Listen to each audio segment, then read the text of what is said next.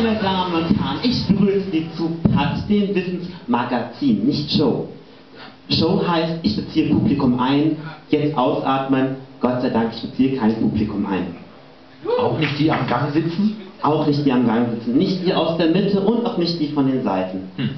Schade. Meine Damen und Herren, ich begrüße Sie zu PAT, dem Wissensmagazin, das viel Wissen bringt, ohne dass Sie viel dabei lernen können. Heute das Thema ist ganz überraschenderweise Zucker. Und der Ursprung des Zuckers liegt genau hier. Hier. Und zwar genau 12.700 Kilometer hier unten durch und dann nochmal 10.000 Kilometer in, ähm, Moment, das muss ich nachlesen, nordwestlicher Richtung. Auf der Inselgruppe der Milanesen, zu denen auch die Insel Fidschi gehört. Ja, das ist doch schon mal was sehr, sehr Schönes. Das haben Sie heute bestimmt zum ersten Mal gehört. Nicht wahr, oder? So. Und wie ist der Zucker jetzt hierher gekommen? Ne, das ist ja doch ein ganz schönes Stückchen da unten. Das ist sogar noch ein Stückchen weiter weg als Australien. Das ist schon nicht um die Ecke. Und zwar hat das alles schon vor 10.000 Jahren begonnen. So.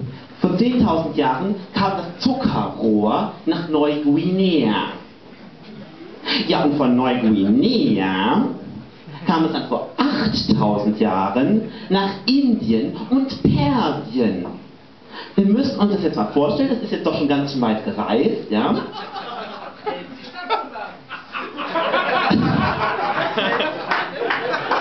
Und wir haben es nun tatsächlich auch dann auch noch einmal wie vielen Jahren? Moment, das habe ich vorher nicht ausgerechnet. Dann sage ich, wie es hier steht. Vor 2600 Jahren hat man in Persien dann den ersten Zuckerhut hergestellt.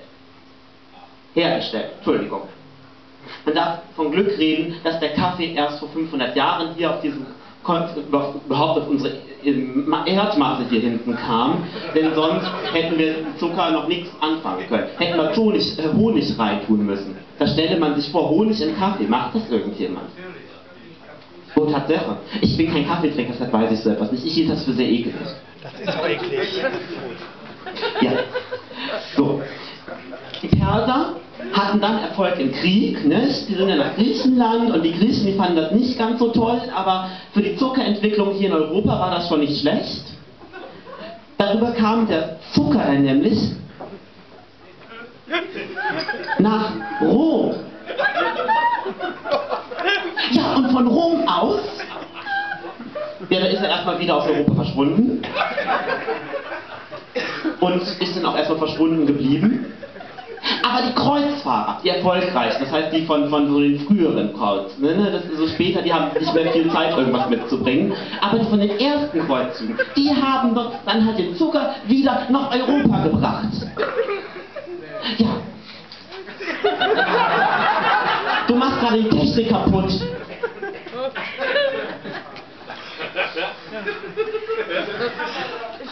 Jedenfalls kam der Zucker hierher zu dieser Zeit. War aber immer noch relativ selten. Das heißt, ne, Alltagsgebrauch war noch nicht. Aber wir haben den Zucker, wir sind hier jetzt immer schon, immerhin schon im Jahre 1100 nach Christus. Wow. Ja. Und der Zucker ist immer noch nicht hier angekommen. Ja. Aber im Jahre 1503 da hat der Zucker etwas Wegweisendes geschaffen. Nämlich in Amerika wurden die ersten Sklaven auf Zuckerrohrplantagen eingesetzt. Und darüber... Ich finde das überhaupt nicht toll, dass Sie darüber lachen. Also das ist schon sehr ernstes Thema.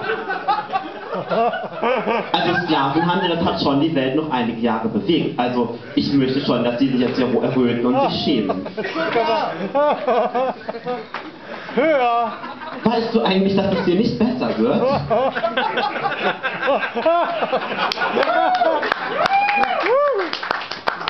Pass auf, ich, ich, ich, der Herr Störk hat Musik von uns, ich mache gleich noch eine Prügelnummer mit dir und heute schlage ich dich zu. Oh, Günther. Ja, meine Damen und Herren, und schließlich und endlich hat es dann im Jahre 1747, ja 47, mein Gott, bin ich gut, 47, hat es ein Chemiker tatsächlich geschafft, aus einem europäischen Rohstoff Zucker zu gewinnen. aus der Zuckerrübe.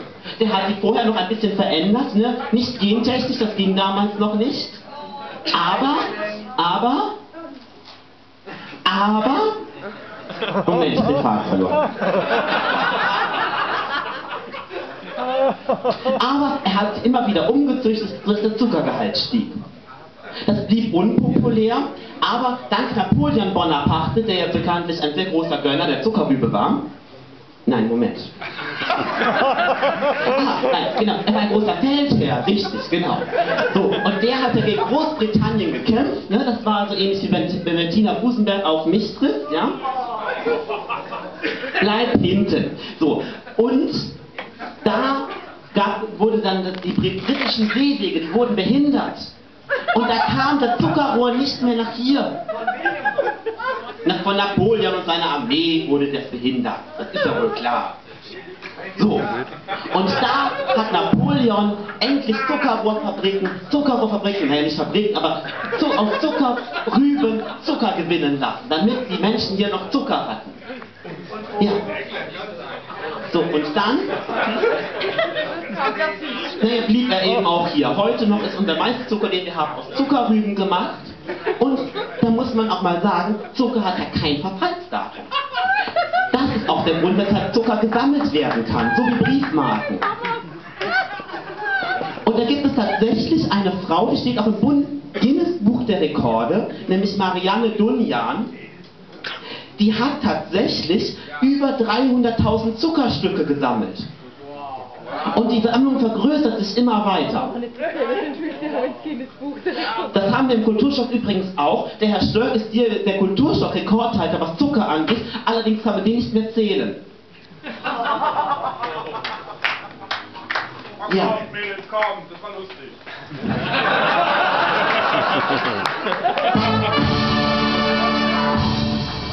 Zucker macht nachgewiesenermaßen übrigens genauso süchtig wie Morphium oder Heroin. Auch in diesem Beispiel wollen wir Herrn Störk anführen. Wieso Herr Störk? Amelie Mills kurz sind drei Pfund Zucker in eine Tasse Kaffee. Ja, bei der sieht man es nicht so stark. Noch nicht. Ich wollte ja nur betonen, dass Sie tatsächlich etwas unförmiger sind als Amelie Melzfurth. Ich komme jetzt auch zum Ende. Sie sind ja gleich erlöst. Applaus, meine Damen und Herren. Wenn der Jauch Sie irgendwann mal was über Zucker sagt, dann werden Sie alle mir dankbar sein. So, und zwar wurde Zucker auch im Weltall gefunden. Man geht tatsächlich davon aus, dass Zucker bereits auf der Erde schon vorhanden, zuckerähnliche Substanzen zumindest, schon auf der Erde vorhanden waren. So, und diese Zucker vorhandenen Substanzen, die schon vorhanden waren, sind Bestandteil des Lebens. Das heißt auch, es hat das Leben aufgebaut. Das heißt, wir alle sind Zucker. Ja, schlussendlich ist zu sagen, auch das Weltall hat etwas für Zucker übrig. Verbannen Sie den Zucker nicht aus Ihrem Speiseplan, um abzunehmen. Nehmen Sie zu, wie wir im Kulturschiff das auch alle so schön machen. Vielen Dank.